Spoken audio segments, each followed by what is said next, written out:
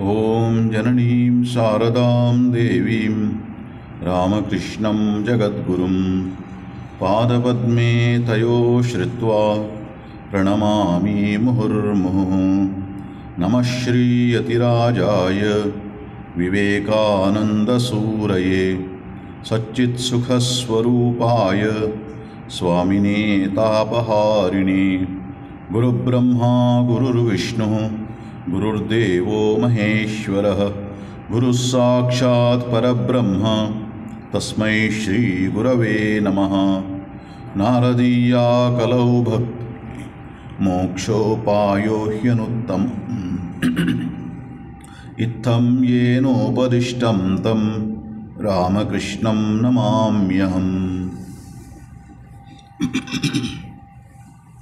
नारद भक्ति सूत्र का? अध्ययन कर रहे हैं हम लोग।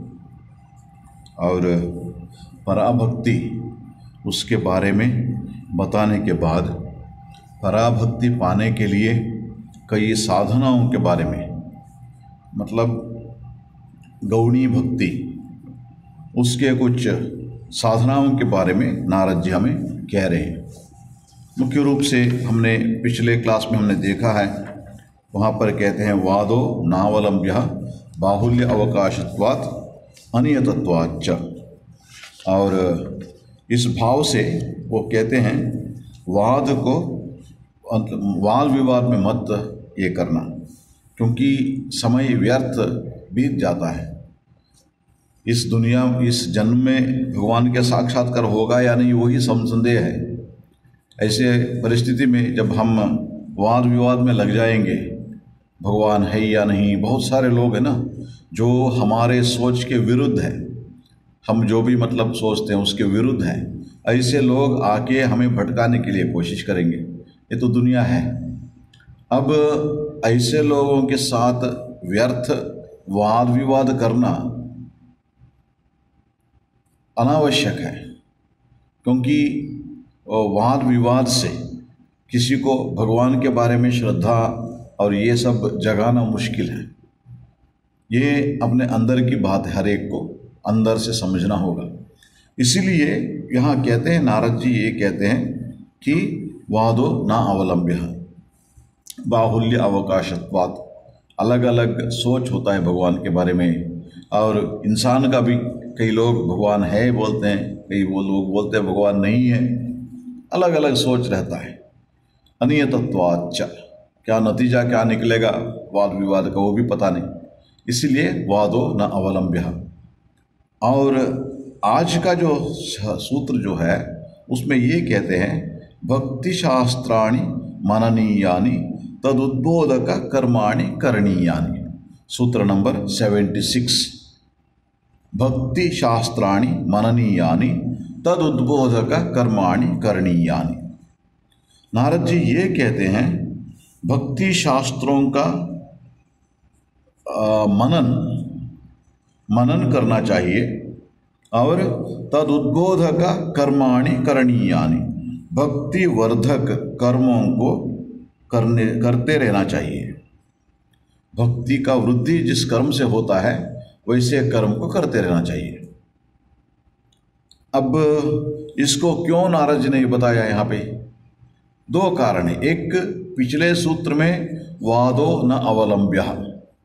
वाद मतलब ये नहीं, शास्त्र चर्चा नहीं करना चाहिए। हमने पिछले इसमें सूत्र में जब इनको ये करते हुए ये भी बताया कि जब गुरु शिष्य के पास जाते हैं, शास्त्र में स्पष्ट रूप से बताया, कैसे शिक्षा लेंगे गुरु से? तद्विधि प्रणिपातेन परिप्रश्न जो गुरु के पास जो शिष्य जाते हैं, गुरु से प्रश्न करते हैं। इसके लिए नहीं कि शिष्य, गुरु के ज्ञान कितना है उसको परीक्षा करने के लिए वैसा नहीं। उनसे ज्ञान प्राप्ति के लिए भगवान के मार्ग में आगे जाना है, भक्ति मार्ग में आगे बढ़ना है। इसीलिए गुरु से प्रश्न करते उसको क्या कहते हैं? परिप्रश्न। ज्ञान को पाने की इच्छा से जो प्रश्न करते उसको परिप्रश्न बोलते हैं। उससे कोई हानि नहीं है। इसका मतलब क्या हुआ? हमें ये जानना ज़रूरी है एक गुरुमुख से और शास्त्रों द्वारा। शास्त्रों द्वारा इसको जानना बहुत ज़रूरी है। इस कारण से भक्ति शास्त्राणी मननीयानी। भक्ति शास्त्रों को मनन करना होगा। मनन करना चाहिए। भक्ति शास्त्र, भक्ति जिस शास्त्र से भक्ति वर्धित होता है, ऐसे शास्त्र को मनन करना होगा। भक्ति वर्धित करने वाले जो शास्त्र, उसको मनन करना होगा। तद उद्बोधक कर्माणि करणीयानि। मतलब भक्ति जिससे वर्धित हो, ऐसे कर्मों को करना पड़ेगा। दो बातें यहाँ कहा गए एक, मनन करना, शास्त्र को मनन करना। और दूसरे कर्म करना। कैसे कर्म करना? जिसे भक्ति वृद्धि हो। जिस कर्म से भक्ति वृद्धि हो। ये गौणी भक्त मतलब प्राथमिक अंत में जो भक्त जो है थोड़ा सा भगवान में विश्वास है, उसको बढ़ाने के लिए ये बहुत ज़रूरी है। ये बहुत आवश्यक है। क्यों आवश्यक है? वैसे तो ये किसके लिए बताया गया है? ये गौणी भक्त मतलब प्रारंभिक अंत में हमारे तुम्हारे जैसे। अभी अभी मतलब भगवान के थोड़ा विश्वास हुआ है और भगवान में थोड़ा भक्ति है। भगवान के प्रार्थना करते हैं, ध्यान करने के लिए कोशिश करते हैं, उनके नाम जप करते हैं। ये सब करने के लिए जो कोशिश करते हैं, ऐसे गौणी भक्तों के लिए उन्होंने, नारद जी ने ये मार्ग बताया है। भक्ति वर्धन करने के लिए। भक्ति का बढ़ावा के लिए, जैसे ये गौणी भक्ति पराभक्ति में परिवर्तित हो, उसके लिए उन्होंने ये मार्ग बताया वो क्या है? भक्ति शास्त्राणी मननीयानि। शास्त्र शास्त्र मतलब क्या है? इसको इंग्लिश में बताना चाहिए तो साइंस। साइंस ऑफ़ भक्ति। ये भक्ति अपने आप में एक शास्त्र है। उसको क्या करना चाहिए? मननीयानी दूसरा अर्थ क्या है? भक्ति संबंधित शास्त्र मतलब ग्रंथ, जो जितना भी है, उसको माननीयानी मनन करना चाहिए। अब यह प्रश्न उठता है, पढ़ना चाहिए या नहीं? है ना, नारद जी ये कह सकते थे ना, पठनीय आने पढ़ना चाहिए। लेकिन नारद जी यहाँ क्या कह रहे हैं? मननीय आने इसको मनन करना और पठन करना मतलब सिर्फ़ पढ़ना और उसको मनन करना, इसमें बहुत बड़ा फ़र्क पड़ता है। बहुत बड़ा फ़र्क पड़ता है। इसीलिए उन्होंने क्या कहा महाराज ने यहाँ पे, ये भक्ति शास्त्राणी मननीयानी तद उद्बोधक कर्माणी करणीयानी, भक्ति बढ़ावा देने के लिए। वो क्या है, उसको थोड़ा हम अध्ययन करने के लिए कोशिश करेंगे। यहाँ पे नारद जी कहते हैं, भक्ति शास्त्रों का विचार एवं भक्ति वर्धक कर्मों को करते रहना चाहिए। भक्ति शास्त्राणी मननीयानी तद उद्बोधक कर्माणी करणीयानी। पहले व्यर्थ तर्क करना निषिद्ध है, ये बात पता है उन्होंने। व्यर्थ तर्क करना निषिद्ध है, वादो न अवलंब्य। किंतु शास्त्र के सिद्धांतों पर विचार करना भक्ति लाभ के लिए सहायक है। वो बात यहाँ बता रहे हैं। व्यर्थ तर्क नहीं करना, ठीक है। फिर शास्त्र पढ़ के ना लोग तर्क करते हैं। बहुत सारे लोग हैं, शास्त्र इसीलिए पढ़ते हैं, दूसरों से तर्क करेंगे। शास्त्र का अध्ययन क्यों करते हैं? भगवान के बारे में जानने के लिए, ज्ञान का अर्जन के लिए, और उसी के साथ साथ भक्ति हो, ज्ञान हो, उसका वर्धन हो, हमारे मन में ना, इस उद्देश्य से शास्त्र का अध्ययन करना चाहिए। लेकिन इस दुनिया में ऐसे लोग भी देखने के लिए मिलते हैं, जो सिर्फ़ शास्त्र अध्ययन करके उसी विषय पर वाद विवाद करते रहेंगे। उसमें ही उसको आनंद मिलता है। मुझे बहुत ज्ञान है वो देखने, दिखाने के लिए। इसीलिए भक्त, सिर्फ़ भक्त को क्या करेंगे? भक्त शास्त्र का अध्ययन करेंगे, वाद विवाद के लिए नहीं है, तर्क व्यर्थ तर्क के लिए नहीं है, ज्ञान का अर्जन करने के लिए। इसलिए यहाँ कहते हैं, किंतु शास्त्र के सिद्धांतों पर विचार करना भक्ति लाभ के लिए सहायक है। पहले पढ़ना चाहिए और उसके बाद उसके ऊपर विचार करना चाहिए। मनन मनन करना चाहिए। उसका जो मनन करना भक्ति लाभ के लिए सहायक है। स्वाध्याय साधना का एक विशेष प्रयोजनीय अंग है।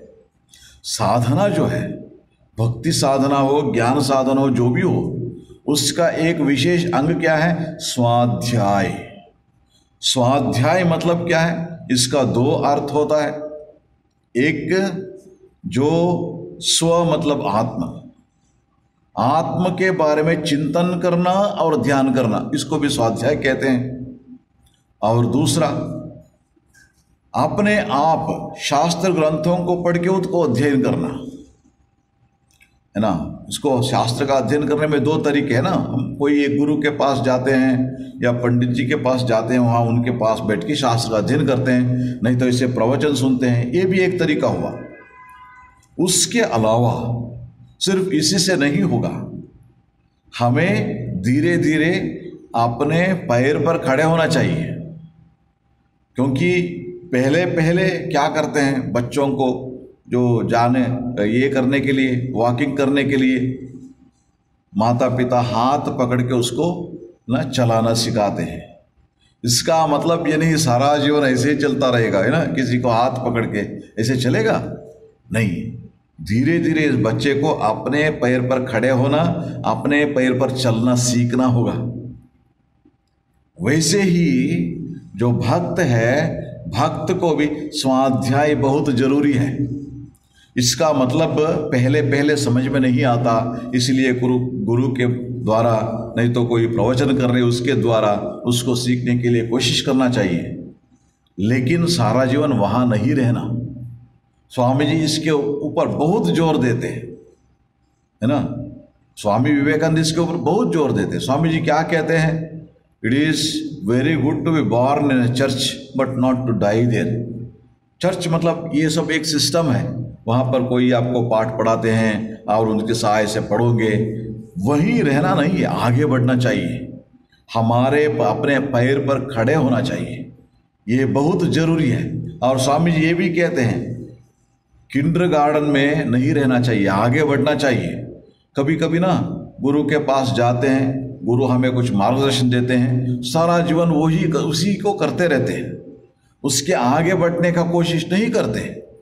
जैसे वहाँ गए अच्छा एक गुरु ने बताया है, चालीस मिनट बैठो, थोड़ा ये करो, उपासना करो, कर लिया, बस, उसमें ही हो गए। अच्छी बात है। मतलब ये करना नहीं, ऐसा नहीं, लेकिन वहाँ नहीं रुकना चाहिए, आगे बढ़ना होगा। कैसे?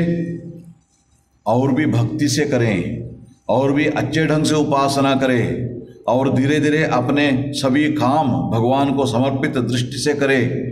अपने जीवन में, अपने बातचीत में, अपने बर्ताव में कैसे बदलाव आ जाए, आगे कैसे बढ़े हम, है ना? अपने जीवन में, हमारे जो क्वालिटी ऑफ़ लाइफ जो कैसे इम्प्रूव हो उससे।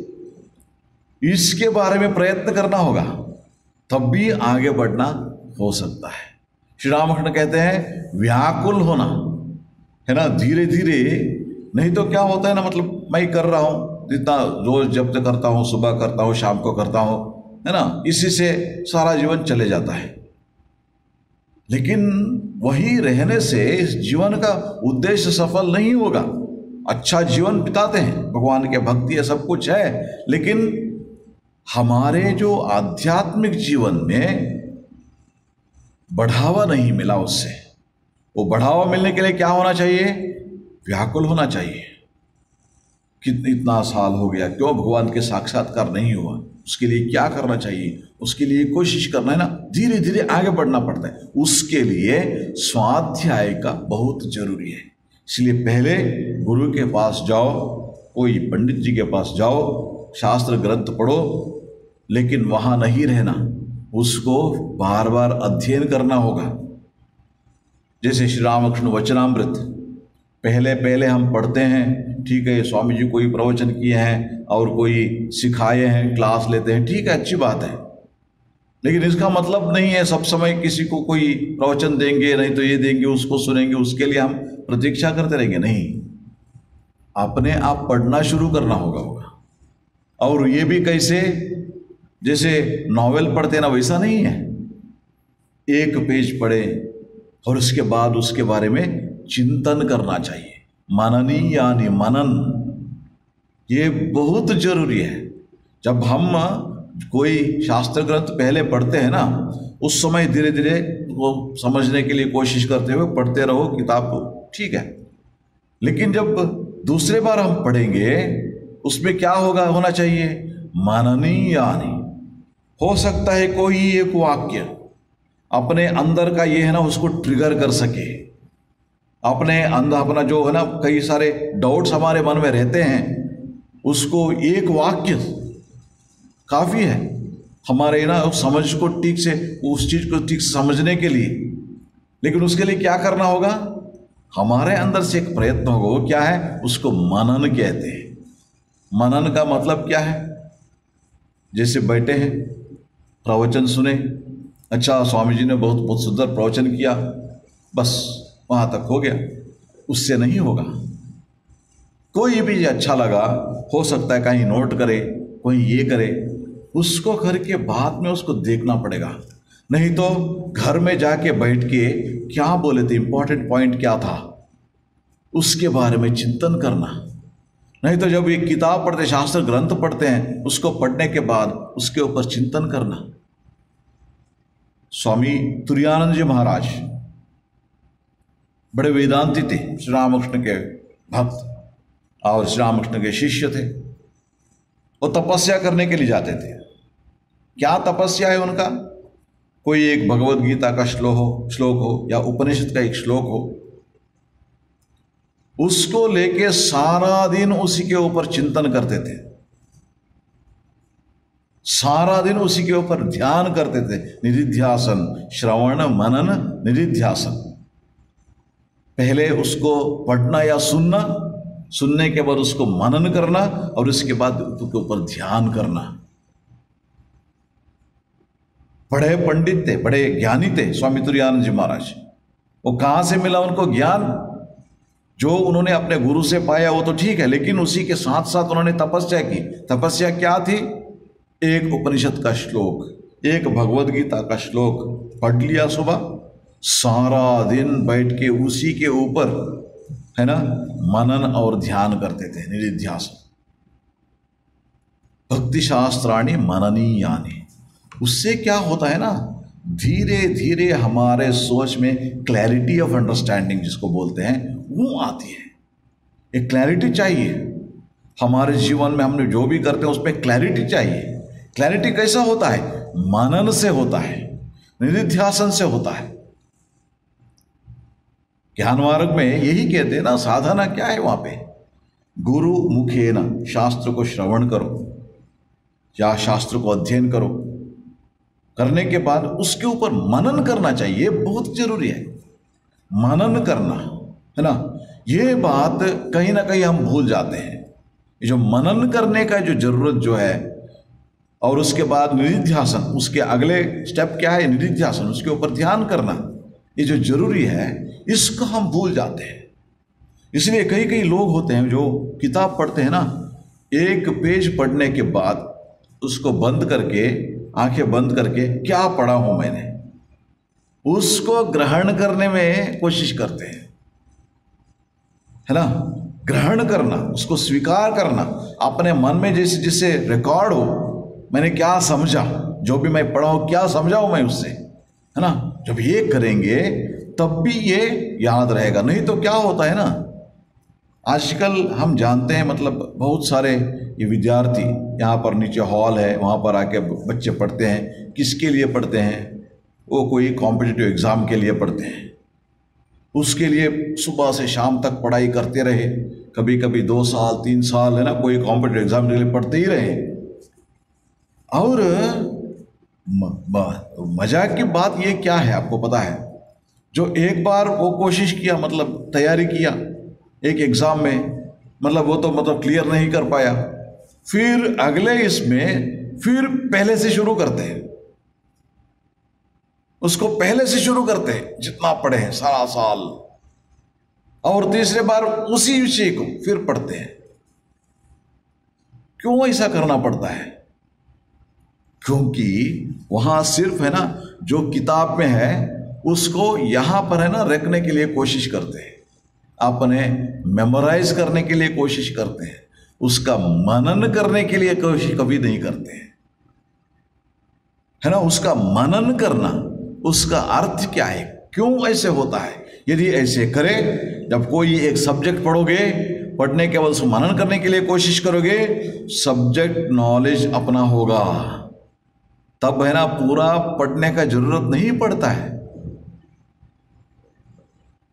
सिर्फ़ आपको रिवाइज कर सेकंड बार जब आप दूसरी बार आप पढ़ोगे, सिर्फ़ रिवाइज करना पड़ता है। पहले बार यदि ठीक से पढ़े और उसको मनन करने के लिए कोशिश करे। है ना? इसीलिए नारद जी कहते हैं, उसको मनन करो। मनन करो मनन करो, बहुत ज़रूरी है। इसलिए ये बात, है ना? और उसके बाद कहते हैं, भक्ति में वृद्धि के लिए साधुओं के संगति, शास्त्र पाठ, सतचर्चा, पूजा आदि कर्म अवश्य करणीय है। है ना? तदुद्बोधक कर्माण्य करणीय उसमें क्या है? भक्ति में वृद्धि के लिए साधु संग तदुद्बोधक कर्म, सत्संग करना है। और उसके बाद शास्त्र पाठ और सत चर्चा। सत्य कह रहे भगवान के बारे में चर्चा, पूजा आदि कर्म, है ना, अवश्य करणीय है। श्री रामकृष्ण कहते थे, अरे, मैंने कितना सुना है। श्री रामकृष्ण तो ज़्यादा शास्त्र पढ़े नहीं। इसका मतलब ये नहीं, उसका शास्त्र क्या नहीं था, ऐसा नहीं। वो है ना, वो कमारपकुर जिनका जो गाँव था, वहाँ पे एक रास्ता जाता था, है ना, गंगा सागर जाने के लिए। गंगा सागर मतलब गंगा जी जो सागर में संगम होती है ना, वो संगम। वहाँ उसके दर्शन के लिए, वहाँ स्नान करने के लिए दूर दूर से साधु लोग आते थे। वो जाके उनके सेवा करते थे, ये बालक, छोटे से बालक, उनके सेवा करते थे और वो लोग जो शास्त्र चर्चा करते थे ना, उसको सुनते थे। और जहाँ भी भागवत श्रवण हो, रामायण का पाठ हो, जाके वहाँ बैठते थे, सुनते थे। श्री रामकृष्ण क्या कहते हैं? अरे, मैंने कितना सुना है। और और श्री रामकृष्ण भक्तों को कह रहे हैं, जब अकेले रहना, तब श्रीमद् भागवत या चैतन्य चरितमृत, ये सब पढ़ना। भागवत भक्ति ग्रंथ है। उसमें सब कुछ है, ज्ञान, भक्ति, सब कुछ है। चैतन्य चरितमृत है। और एक किताब श्री रामकृष्ण कहते थे, वो रामायण, है ना, उसको भी पढ़ना। श्री रामकृष्ण कहते थे, रामायण। इसलिए ये ग्रंथ जो है, भक्ति ग्रंथ जो है, उसको पढ़ो। नारद जी भी यही कह रहे हैं, उसको पढ़ने का तरीका क्या है? सिर्फ़ पढ़ते जाना नहीं है। उसमें क्या कहना चाहते हैं?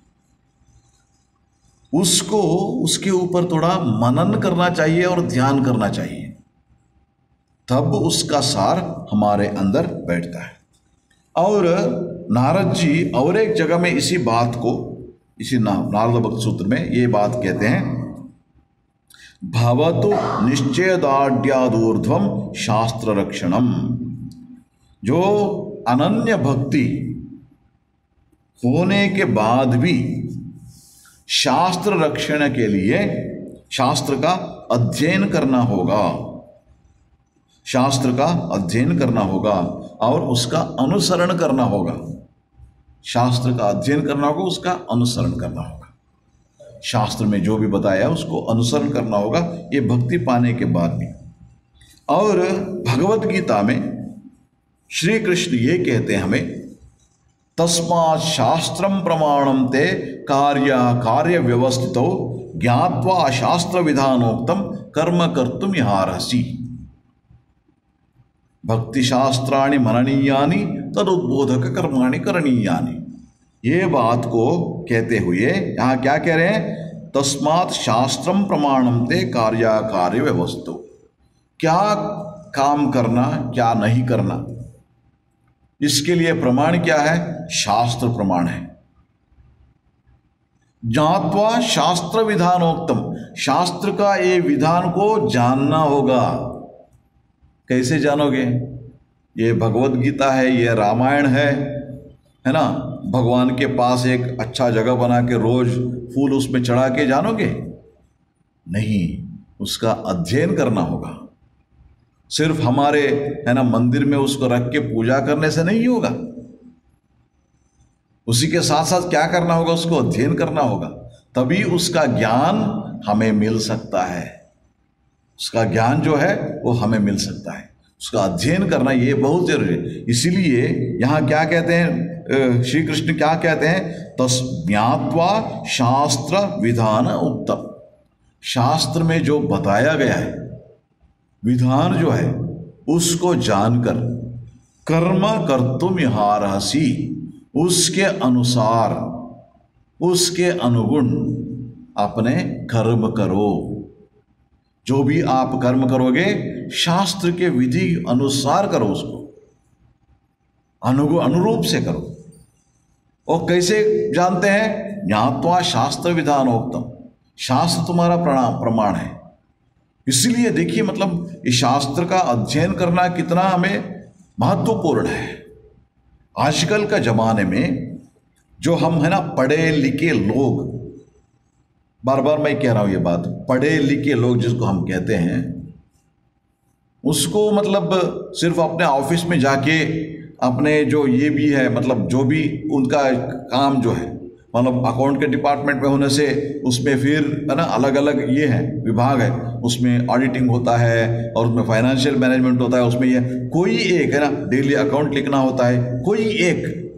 उसी के संबंधित कुछ हम चीज़ जान के हम क्या समझते हैं, अपने आप को बड़े पढ़े लिखे लोग समझते हैं। लेकिन जब कोई एक संदिग्ध आता है हमारे मन में, है ना, अपने जीवन में, ऐसे करूँ या ऐसे करूँ? है ना? ये जब संदिग्ध हमारे में आता है, उसका जो निर्णय लेने में असमर्थ है, पढ़े लिखे हैं हम लेकिन कितने गलत है ना, अपने अहंकार के कारण, अपने ये कारण, गलत निर्धार लेके अपने जीवन को, अपने परिवार को सब हम बिगड़ा देते हैं। क्यों होता है? क्योंकि ये जो शास्त्र का अध्ययन नहीं करते हैं ना, पढ़ा लिखा करो जितना भी एग्जामिनेशन पास करना चाहते हो, करो। इसका मतलब ये नहीं है, हमारा शास्त्र को पढ़ना बंद कर दो। कहाँ पर है? सिर्फ़ आप, एक पढ़े लिखे लोग मतलब क्या हुआ? आपका पढ़ा लिखा का मतलब क्या है? कोई एक स्किल डेवलप करना, कोई एक इस काम करने के लिए एक डॉक्टर होके जो भी पेशेंट को ट्रीट करना, या इंजीनियर होके कोई एक इसमें करना, और या कोई लेक्चरर बन गया बच्चों को सिखाना। इससे आपके जीवन के संबंधित, मेरे जीवन में क्या करना होगा? जब बच्चों को कैसे देखभाल करना होगा? है ना, उसके बाद हमारे जो जीवन में, परिवार में जो और लोग हैं, उनसे कैसे ये करना, व्यवहार करना होगा? और जब कोई एक, है ना प्रॉपर्टी का जो ये डिवीज़न का ये बात आती है, तब कैसे डिसीज़न लेना? पता नहीं हमें। पता नहीं हमें। क्या करना होगा उसके बारे में? क्यों पता नहीं? क्योंकि शास्त्र को नहीं पढ़ते, हैं ना? ये सिर्फ़ जो भी पढ़ाई इसमें ना कॉलेज में स्कूल कॉलेज में पढ़ाते हैं, सिर्फ़ जॉब के लिए है वो। लेकिन सिर्फ़ जॉब से अपने जीवन नहीं चलता है, पैसे से जीवन नहीं चलता है। उसी के साथ साथ उस पैसे को कैसे उपयोग करना चाहिए और उससे कैसे हम आनंद से रहे, हमारे परिवार के लोग भी आनंद से रहे, ये सब कहाँ से पता चलता है? शास्त्रम प्रमाणम ते, शास्त्र को प्रमाण मान के जाना है। इसीलिए नारद जी यहाँ स्पष्ट रूप से कहते हैं, भक्ति शास्त्राणी मननीयानी। है ना? जो साइंस ऑफ़ भक्ति जो है, उसको मनन करो। भक्त के लिए बता रहे हैं यहाँ पे, भक्ति मार्ग में जो जा रहे हैं, उनके लिए बता रहे हैं, भक्ति शास्त्राणी मननीयानी। है ना? यहाँ पर भी यही कह रहे हैं, तस्मात शास्त्रम प्रमाणम ते कार्य कार्य व्यवस्था ज्ञातवा शास्त्र विधानोक्तम तब भी ना, ठीक से बैलेंस होता है। दोनों का बैलेंस, क्या करना, क्या नहीं करना, कई लोग होते हैं। बहुत स्पष्ट ये उस उसके मन में रहता है। बहुत स्पष्ट रूप से क्या करना, क्या नहीं करना। और कई लोग क्या होते हैं, मेरे को मतलब इससे थोड़ा पैसे, मैं ये मतलब खोने वाला हूँ, इसलिए मैं क्यों खो है ना? अब जब रिलेशनशिप और उसके बाद पैसे। इन दोनों में झगड़ा होने से कहूँ किसको पकड़ो? रिलेशनशिप को पकड़ो या पैसों का पकड़ो? ये बात समझ में नहीं आता है। है ना? जो मेरा पैसा ले रहा है, मैं क्यों दे दूँ कई कई लोग क्या कहते हैं? अरे, पैसा तो कमा सकते हैं जी। आज न कल क्या है, हमारे उद्योग है जॉब है, पैसा कमा सकते हैं। रिलेशनशिप क्या फिर आएगा? देखिए मतलब ये जीवन में ऐसे सांसारिक संबंधित, लौकिक संबंधित, इसमें भी डिसीज़न लेने में असमर्थ हो जाते हैं, गलत डिसीज़न लेके चले जाते हैं, फिर आनंद पाने के लिए धर्म मार्ग पर रहना जा, जाना वो बहुत दूर की बात है। बहुत दूर की बात। हमारे धर्म जीवन मतलब क्या है? जब भी कोई एक विशेष दिन हुआ, मंदिर में जाओ, भगवान की पूजा करके आओ, है ना, फूल, फल और चढ़ा के, मिठाई चढ़ा के आओ, बस हो गए, हम धार्मिक बन गए। ऐसे नहीं चलेगा। जब भगवत गीता है, भगवत गीता में भगवान ये बोलते हैं, योगस्थ कुरु कर्माणी। भगवान के चरण कमल अपने मन को समर्पित करके अपने कर्म करो। ये बात सब हर एक चीज़ है वहाँ, जीवन में कैसा जाना, कैसे आगे बढ़ना। ये सब स्पष्ट रूप से है। जब उसको अध्ययन करेंगे, उसको मनन करेंगे, तब कैसे जीवन बिताना, ये बात हमें समझ में आता है। इसलिए ऐसे शास्त्र का अध्ययन करो। और क्यों ऐसे करना? शास्त्र का अध्ययन करना। क्योंकि भगवत गीता में श्री कृष्ण ये स्पष्ट रूप से बताते हैं यद्यद आचरति श्रेष्ठ तत्तदेव इतरो जना, सयत प्रमाणम कुरुते लोकस्तदनु वर्तते। श्रेष्ठ पुरुष जैसे आचरण करते हैं, वैसे ही और सभी लोग उसका अनुसरण करते हैं। श्रेष्ठ पुरुषों का आचरण। बड़े समाज में बड़े लोग हैं, जो भी करते हैं उसको, दूसरे लोग क्या कहते हैं उसको, एक प्रमाण मानते हैं।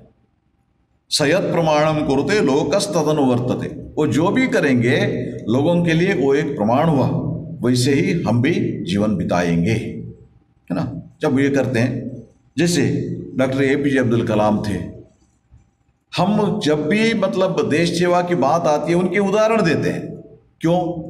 उन्होंने प्रायोरिटी क्या रखा अपने जीवन में, देश को प्रायोरिटी रखा, समाज को प्रायोरिटी रखा, और उसके बाद अपना, है ना, स्वार्थ जो है, बाद में सोचते थे। पहले देश को और समाज को बारे में सोचते थे। क्यों? श्रेष्ठ पुरुष थे। इसमें समाज में जो भी बड़े हैं, उनका आचरण जो है, उसको देख के दूसरे लोग भी उसका आचरण करते हैं। कैसे पता चलता है? श्रेष्ठ लोग कैसे आचरण किया? उनके जीवन पढ़ते हैं, वो जो भी बताए उसको ही शास्त्र कहते हैं ना। जैसे भगवान श्री कृष्ण ने श्री कृष्ण ने देखिए उनके आप जीवन देखिए, वो गए, कहाँ पर गए? मथुरा गए। कंस तो बड़े क्रूर राजा था और उनके मामा थे श्री कृष्ण जी का मामा थे। और कृष्ण ने वहाँ जाके कंस का संहार किया। उस दिन, उन दिनों का जो प्रथा जो था, जो भी राजा का हत्या करेगा राज्य सिंहासन उसका होगा, अधिकार उसका होगा। लेकिन कृष्ण ने क्या किया? उग्रसेन को वहाँ बिठाया। उग्रसेन को वहाँ बिठाया। क्यों? ये मेरा सिंहासन नहीं है, ये आपका है। उसका अधिकारी आप हो। आप ही थे पहले। आपको कम से ऐसा निकाल के वो बैठे थे। इसलिए आपको ये करने के बाद किसको जाएगा? आपको जाएगा। देखिए, निस्वार्थ उनके जीवन था। अध्ययन करो। श्री कृष्ण के जीवन अध्ययन करो, तब पता चलता है। तब पता चलता है। मतलब सचमुच जीवन में कैसा, क्यों अभी भी उनको याद करते हैं? एक आदर्श व्यक्ति क्यों मानते हैं उनको? इस कारण से, ये सब कारण से। इसका आचरण देख के तत्तदेव इतरो जना, और भी उसका अनुसरण करेंगे। और सभी लोग उसका अनुसरण करेंगे। सयत प्रमाणम कुरुते। इनका देखिए श्री राम जी का जीवन में। उनके पिताजी श्री राम जी को सीधे अपने अपने आप नहीं बताए थे। तुम वनवास चले जाओ, भरत को सिंहासन मिले उन्होंने नहीं बताया। लेकिन कई कई बताई उनको। मैंने इस वर को मैं मांगा, और देखो तुम्हारे पिताजी देने के लिए तैयार नहीं है। अब तुम फिर हमारे पिताजी का वाक्य परिपालन करो। श्री राम जी ने क्या बताया?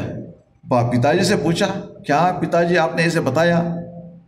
पूछा क्या? नहीं।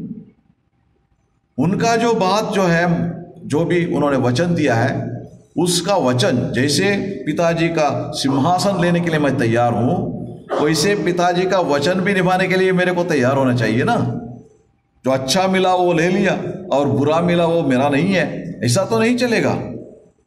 मैं, जब मेरा पिताजी जो है, उनका सत्य को ये निभाना होगा सत्यवाक्य को निभाना होगा सत्यवाक्य है पिताजी। इसलिए पूछा भी नहीं पिताजी से। चल बस, चल पड़े। देखिए कितना मतलब यदि न जाते, तभी भी लोग उनको श्री राम जी को निंदा नहीं करते थे। निंदा करने वाले कौन थे? क्योंकि समाज बोल सकता था ना, क्योंकि वो तो पिताजी तो नहीं चाहते थे हाँ। वो कैकेयी को कोई वर मांगे थे और उन्होंने कैकेयी का इच्छा थी ये। हाँ उन्होंने पिताजी का बात ये किया। कर सकते थे। लेकिन देखिए, उसको निभाने के लिए चौदह साल वनवास चले गए। इसीलिए ये जो ये सब हमें ना याद रखना होगा। उनका जब श्री राम जी का याद, बात याद करते हैं, तब ये भी सोचना होगा हमें, उनके जीवन क्या है? आचरण, उनके आचरण कैसा है?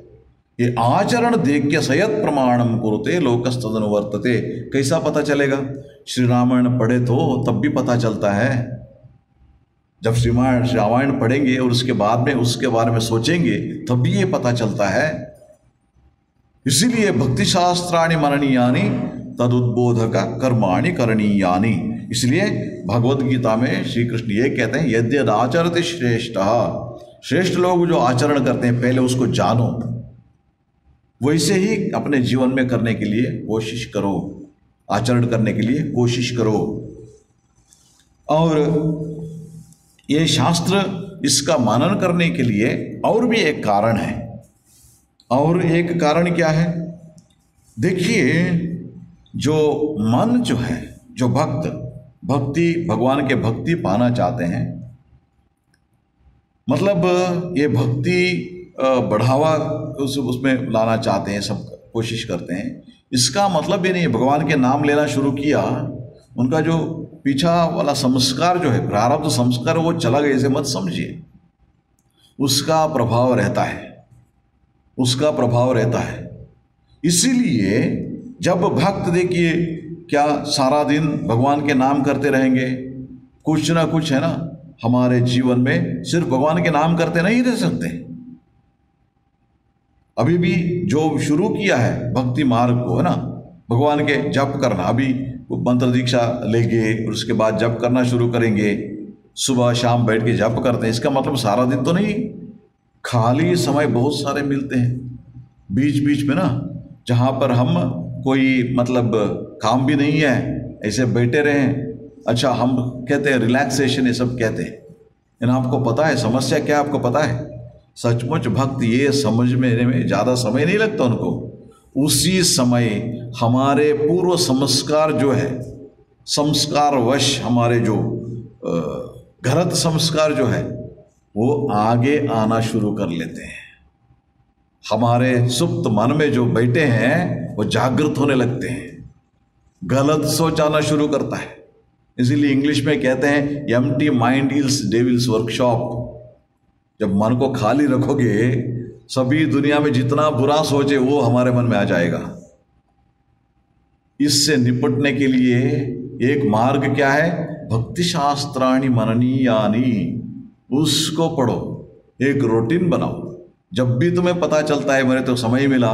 उस समय बैठ के थोड़ा भगवान के वाक्यों को, उनके जीवन के लीला, ये सब पढ़ने की कोशिश करो और उसका मनन करने की कोशिश करो।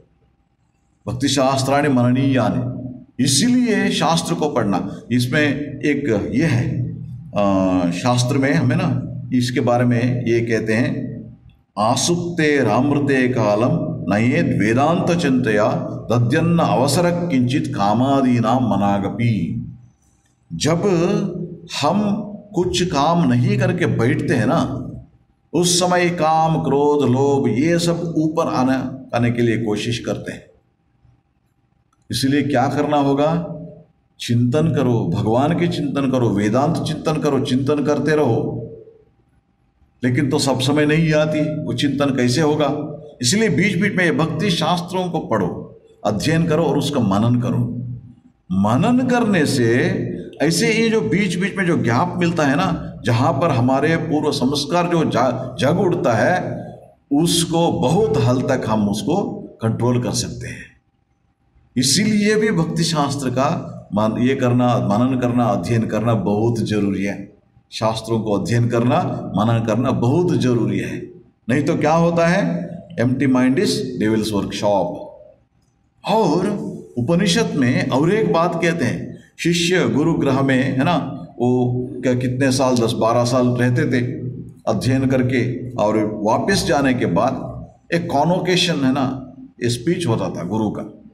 उसमें उसको क्या बोलते हैं? आप, जब तैतरीय उपनिषद पढ़ेंगे, वहाँ पर आचार्य उपदेश एक चैप्टर होता है। आचार्य का उपदेश, शिष्य जो अब अध्ययन पूरा करके जा रहे हैं, जा रहा है अभी।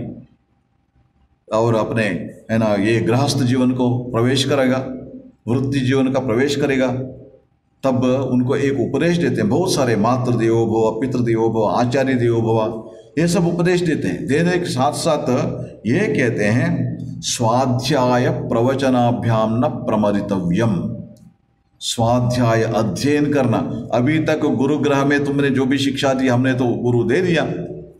इसका मतलब ये नहीं, आजकल जैसे होता है ना, जैसे ही उसको डिग्री मिल गया, वो किताब सब फेंक दिया। उसके और वो सब्जेक्ट से कोई संबंध नहीं, क्योंकि वो जॉब मिल गया ना, बस हो गया। लेकिन ऐसा नहीं। आचार्य क्या कहते हैं? तुम्हें ये जो ग्रंथ जो है, तुम्हारे जीवन के संबंध में भी है। शास्त्र अध्ययन करते थे ना? वो उसका अध्ययन करो। स्वाध्याय और प्रवचन। है ना? इसको दूसरे लोगों को बताना। वो भी एक ही है। इसको न प्रमरितव्यम। कभी इसको बंद मत करो। स्वाध्याय और प्रवचन करते रहो। स्वाध्याय और प्रवचन करते रहो। ये जो है, शिष्य को गुरु ने आदेश देते हैं यहाँ पे। आदेश देते हैं, स्वाध्याय करना होगा तो। मतलब यहाँ जो पढ़ाई किया तुमने, उसके घर में जाने के बाद उसी का भी जारी रखो। तुम्हारे गृहस्थ जीवन का जो धर्म, ये कर्तव्य जो है उसको करते हुए, उसी के साथ साथ ये अध्ययन भी, शास्त्र अध्ययन भी जारी रखो जीवन में।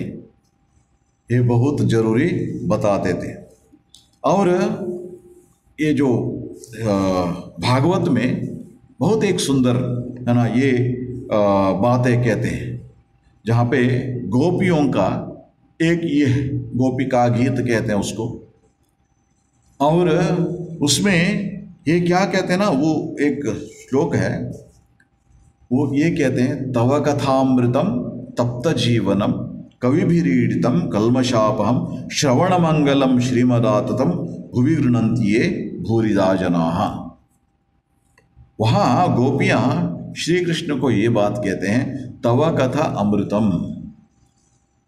तुम्हारे वाक्य जो है, अमृत तुल्य है। तुम्हारे वाक्य जो श्री कृष्ण के वाक्य जो है, वो अमृत तुल्य है। और तप्त जीवनम, किसके लिए? जो जीवन में तप्त हुए हैं। संसार जीवन में जब है ना, रहते हैं ना, अलग अलग तरीके का कठिनाइयों को सामना करना पड़ता है, दुख का भोगना पड़ता है। ये सब ताप से जो तप्त हुए हैं, उन लोगों के लिए तुम्हारे वाक्य जो है अमृत जैसा है। अमृत जैसा है। मतलब इससे निपटने के लिए तुम्हारे वाणियों को सुनना होगा। तव कथामृतम तप्त जीवनम कवि भी रीडितम। कवि मतलब जो योगी, ऋषि, मुनि, ये सब भी उसका प्रशंसा की है, उसका पूजा की, आपका पूजा किए हैं। कलमशाप हम इससे क्या होता है? मन के कलमश का नाश होता है। मन के कलमश का नाश होता है। कलमश मतलब हमारे जो भी है ना, पुराना हमारे संस्कार जो है, वो जो है, उसका नाश होता है। ये करने से, भगवान के वाक्यों को श्रवण करने से कलमशाप हम और उसके बाद श्रवण मंगलम सुनने के लिए बहुत सुंदर है। मतलब और भी सुनना, और भी सुनना, सुन, सुनते रहना, ऐसा लगता है। श्रीमदातम और उसका परिणाम जो है बहुत व्यापक है। व्यापक क्यों है? वो हमें आपके भक्ति के मार्ग में जाने के लिए प्रेरित करते हैं और गलत काम करने से हमें रोकते हैं। इसका व्यापक कितना है देखिए मतलब जीवन में हमारे जीवन गलत काम करने से हमें रोकते हैं और सही मार्ग में, भक्ति जीवन में मार्ग में जाने के लिए आगे जाने के लिए जाते हैं। भूवि गृणंती ये भूरिदा जना इसलिए ये इसमें दुनिया में लोग उसको स्वीकार करते हैं, उनको स्वीकार करना चाहिए भगवान के इन वाक्यों को। इसलिए यहाँ विशेष करके वो क्या कहते हैं? कलमशाप हम हमारे जो कलमश को दूर करते हैं कलमश को नाश करते हैं, ये बहुत मुख्य रूप से हमें समझना चाहिए। नारद जी कहते हैं भक्ति शास्त्राणी मननीयानी तद उद्बोधक कर्माणी करणीयानी। भक्ति को बढ़ावा देने कर्म, वो क्या है? एक शास्त्र अध्ययन हुआ और सत्संग हुआ, ये सब के बारे में चर्चा की। और उसके बाद जप जो है, भगवान के जप करते हैं, वो भी है, भक्ति को बढ़ावा देता है। और स्मरण, भगवान के स्मरण मतलब सब समय जप नहीं कर पाएँगे, भगवान के स्मरण कर सकते हैं। और कीर्तन, भगवान के जो कीर्तन करते हैं, उससे भी भक्ति को बढ़ावा देता है। और पूजा, है ना, अर्चना, ये जो है, इससे भी भक्ति का बढ़ावा मिलता है। और उसके बाद साधु सेवा, वैष्णव सेवन, है ना, साधु सेवा, उनके लिए सेवा करने से भक्ति को बढ़ावा मिलता है। और उसके बाद तीर्थ यात्रा बीच बीच में कभी तीर्थ क्षेत्र में जाना होगा। क्यों जाना होगा? यहाँ पर बहुत सारे भक्त अपने जीवन बिताए हैं, भगवान के स्मरण किए हैं, भगवान के साक्षात्कार किए हैं। कितने मतलब वहाँ, एक वाइब्रेशन होता है वहाँ पे। वहाँ जाने से हमारे अंदर भी भक्ति जागता है और भक्ति का वर्धन होता है। भक्ति वर्धित होता है। इसीलिए ये हमें ये करना चाहिए। ये तदुद्बोधक कर्माणि करणीयानी। भक्ति को हमारे मन में भक्ति वृद्धि हो, ऐसे कर्मों का हमें करते रहना चाहिए। और उसी के साथ साथ आजकल हमें ये भी है ना शिव ज्ञान जीव सेवा। अपने कर्तव्य जो भी करते हो, हर एक के अंदर भगवान बैठे हैं, भगवान के वास है। हर एक के हृदय में ईश्वर सर्वभूता नाम हृदय शरीर तिष्ठति, हर एक के अंदर ईश्वर बैठे हैं। जब किसी को कुछ भी हम सेवा करते हैं, जो भी करते हैं, है ना, अपने कर्तव्य करते हैं, जो भी हो, कैसे समझ के करना? भगवान ही इस पूजा का स्वीकार कर रहे भगवान की पूजा है और भगवान इस पूजा का स्वीकार कर इस भाव से जो करना इसी से भी भक्ति के वृद्धि होता है। तद उद्बोधक कर्माण्य करणीयानी। जो भक्ति को वर्धन करेगा, ऐसे कर्म को हमें करते रहना चाहिए।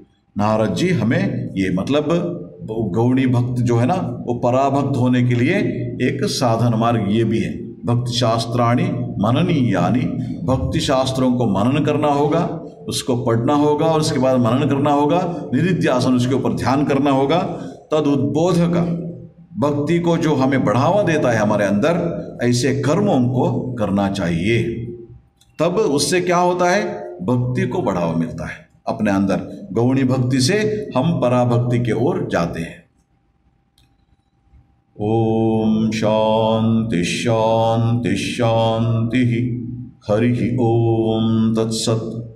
श्रीरामकृष्णार्पणमस्तु।